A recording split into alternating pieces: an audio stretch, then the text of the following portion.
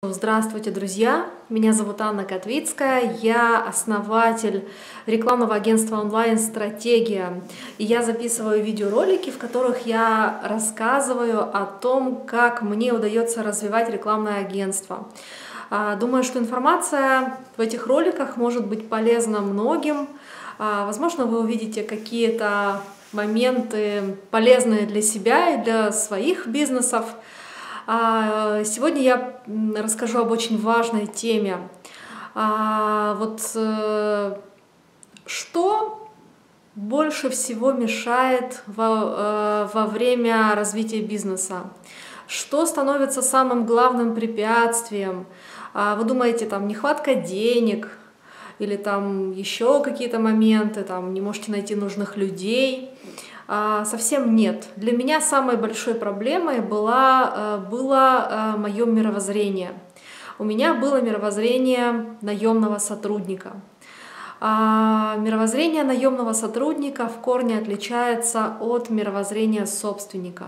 И я расскажу, в каких моментах. Вот первое, а, что такое мировоззрение наемного сотрудника? А, согласитесь, если вы когда-нибудь, когда-либо были наемным сотрудником, вот у меня мой стаж порядка 10 лет, я работала в компаниях в разных, я была маркетологом, я была руководителем отдела продаж. А, в общем, у меня стаж порядка 10 лет. И, и вот э, как думает о себе наемный сотрудник? Практически всегда он думает о том, что он высокий специалист, высококлассный специалист, о том, что он незаменимый работник, о том, что он так много знает и так много умеет, и зачастую наемный сотрудник думает о том, что на нем все держится. Вот я уверена, что каждый наемный сотрудник именно так о себе и думает. Я на всех своих работах именно так о себе и думала. Вот. И когда я начинала свой бизнес, я вот как раз таким мировоззрением и была. Я думала, что я великий спец, я вот лично разбираюсь в продажах, я умею нанимать сотрудников, я отлично разбираюсь в маркетинге, я вообще крутой спец. И вот это ощущение того, что вы все знающий человек, что вы очень классный специалист, это больше всего мешает, потому что на самом деле, когда вы начинаете бизнес, вы в этом деле новичок. Вы не знаете ничего, о том, как развивать свой бизнес. Вы никогда не были бизнесменом, предпринимателем. Вы не знаете, как все устроено. И в этом процессе действуют совсем другие законы. А, нужны совсем другие навыки и профессиональные знания. И вот лучше всего, если вы начинаете свой бизнес с осознания того, что вы новичок. Поэтому я думаю, что ребятам, которые никогда не работали и начинают свой бизнес, мне кажется, им даже легче и проще. Они себя чувствуют новичками, они не боятся набивать шишки.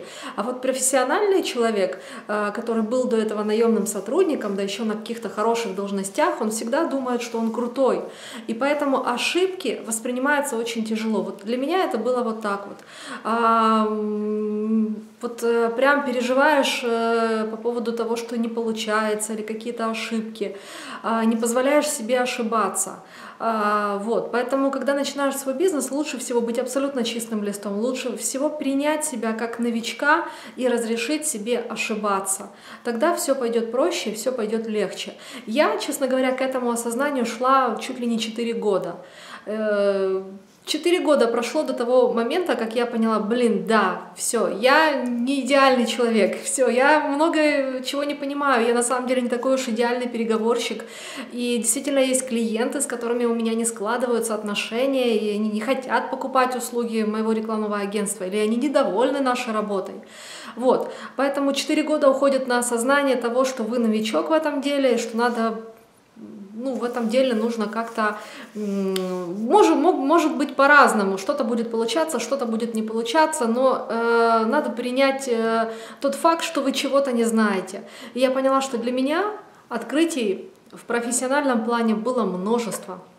Хотя я уходила из наемного труда с осознанием, что вот меня в этой жизни уже мало что может удивить. Оказывается, все только начинается.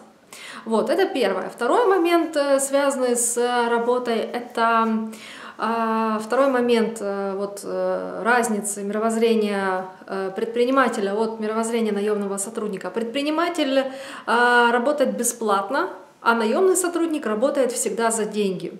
Что это означает? Э, наемный сотрудник поработал месяц и ждет, где мои денежки, которые я тут же могу потратить. А предприниматель зарабатывает, получает прибыль и думает о том, как быстренько, как лучше инвестировать эти деньги, как лучше их вложить, как лучше ими распорядиться для развития своего бизнеса.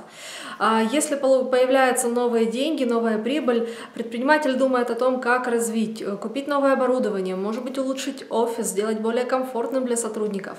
Что еще нужно сделать лучше для того, чтобы бизнес развивался и процветал? И уже потом, когда какие-то главные глобальные моменты решены, можно подумать об отдыхе или о том, как потратить эти деньги на себя. Но на старте чаще всего деньги тратятся на бизнес – а не на себя. Поэтому чаще всего предприниматель работает бесплатно, и этот период может быть очень долгим и очень длительным. Когда вы работаете очень много, но деньги уходят на бизнес, а не на ваше развлечение. А, третий момент разницы мировоззрения предпринимателя от мировоззрения наемного сотрудника.